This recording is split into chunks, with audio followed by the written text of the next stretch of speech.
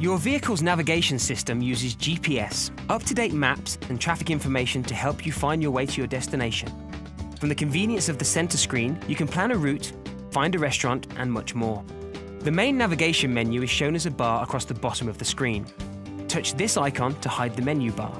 The other icons can be selected to view items such as traffic information, if activated, GPS reception and vehicle position. Cancel the current route, Set a new destination by entering a street address, selecting a place of interest, or choosing a location on the map. Display points of interest along the route. Switch the orientation of the map between 2D oriented north, 2D oriented up, and 3D. Or adjust the settings used by the navigation system. Here's an example of how to set a destination using a street address. Touch this icon on the navigation menu and then touch Find Address.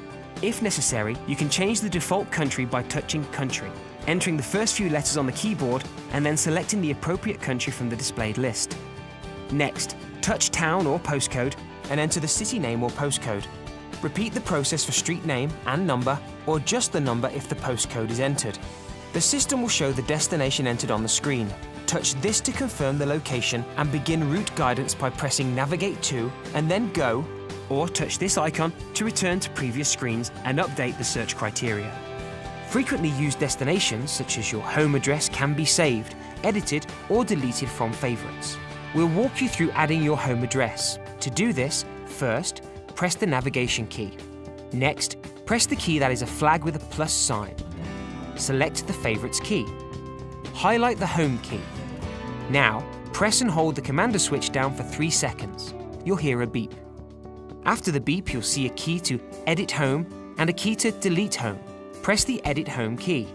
Next, you're ready to enter your street name, so press the street name key and then enter it. Enter your house number and press this key that looks like a list. That takes you to this screen. Press the Set as Home key. A message informing you that your home address is saved to your favourites stays on the screen until you press the OK key. After pressing the key, your screen goes back to the Edit Home and Delete Home page. That's how to save your address as home. There are numerous settings that allow you to customize your navigation system to suit your needs. This is your vehicle's SD card slot, only used by your navigation system. You may update the map's data twice per year for the first three years at no charge. Additionally, you get complimentary connected services such as real-time traffic information for 60 days via your mobile phone's Wi-Fi hotspot.